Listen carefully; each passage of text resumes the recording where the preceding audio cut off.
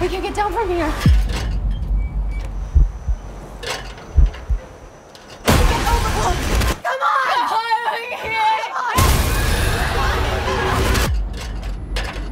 You're almost here. Find you! This isn't like any other Ghostface. What is this place? It's a shrine. Guys? We've got to lure him in. We execute him. Come on, mother! Scream. It's for you. Only in theaters March 10th. Tickets on sale now.